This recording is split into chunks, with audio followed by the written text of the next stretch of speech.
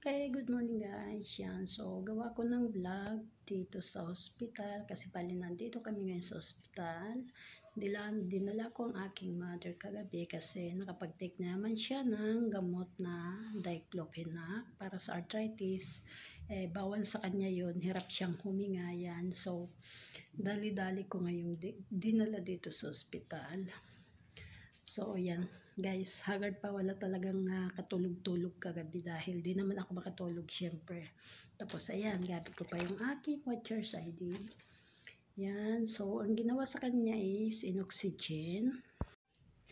Inoxygen. So, ayan yung oxygen. Tapos, ito yung dextrose niya. So, bali kagabi pa yan. Hindi pa nauubos. Wala pa sa kalahati. Yan. So, nagtataka ako kung bakit hindi naman siya tumutulo pala naka-KBO daw kasi nakagumagamit daw siya ng tangke yan. So ang ginawa is kinevio lang. Yan so ito yung aking nanay. Yan okay na siya guys. Balik kagabi 10 kami inadmit. 10 tapos nilagyan lang ng dextrose.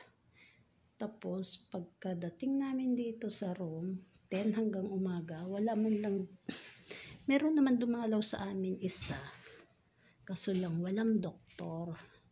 Yan, so bali ito yung room. Yan, may aircon naman. Kaso lang walang TV. Yan. So, ito yung aming mga fruits. Yan, so ang nanay ko is okay naman na siya. Magaling na. Gusto na nga niyang lumabas. Kaso lang, wala pa daw kaming 24 hours. Nung tinanong ko yung bill namin, Uh, kasi uwing-uwingan na nga ng nanay ko. So, wala pa daw 24 hours. Hindi pa covered sa PhilHealth. So, ang antay namin is mag 24 hours. So, mamayang gabi, 24 hours namin. Oh, ewan ko kung matutuloy. Mamayang gabi or baka bukas ng umaga na lang. Yan. So, ito yung window. Hmm.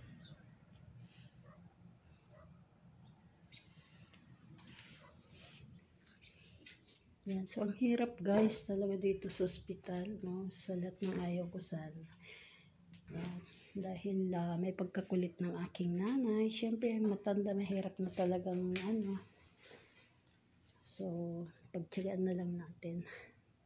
Yan, okay naman na siya. Wala nga, wala nga dumadalaw na doktor. Kaya nagtataka din ako. Kasi alam naman nila na wala siyang sakit, kundi yun lang asma.